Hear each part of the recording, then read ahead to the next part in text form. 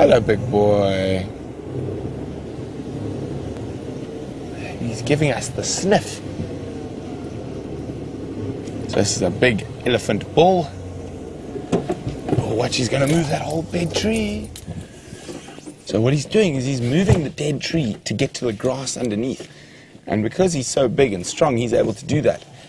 And no other animals have managed to eat that grass yet.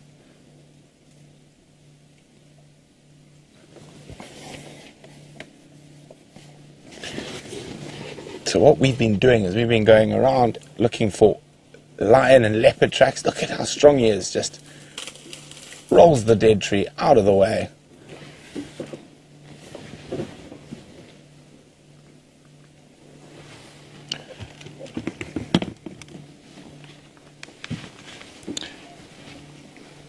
Now, Quinton's thinking faster than me, uh, or thinking the same as me, because I was about to tell you how big elephants got, and Quinton was asking that question.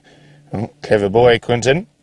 So they get to about 14,000 pounds in weight, and can be, if I remember my feet conversions correctly, they can get about 18 foot tall.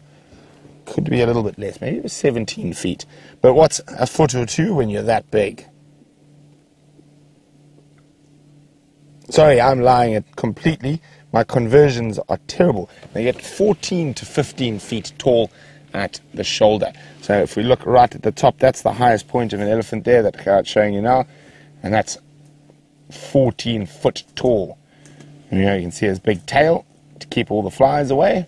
I'm just going to move forward a little bit so you can have a look at his tusks.